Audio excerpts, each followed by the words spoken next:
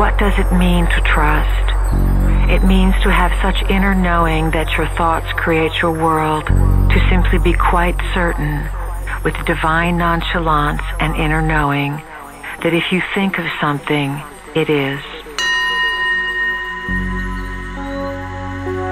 Emotion is the key to all of this. As human beings, you need emotion to connect you with your spiritual self.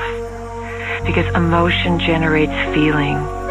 You need emotions to comprehend the non-physical, which is why emotions have been so controlled upon this planet. Most human beings are afraid of their emotional or feeling center.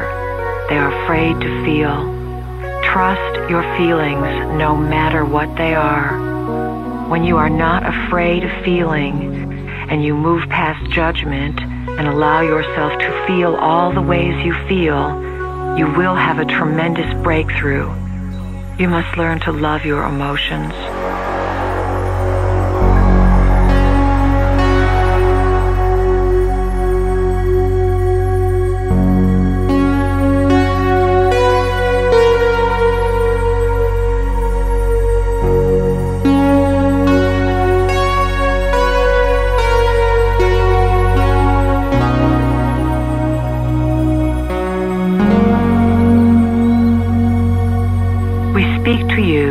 As if you are not human, because to us, you are not.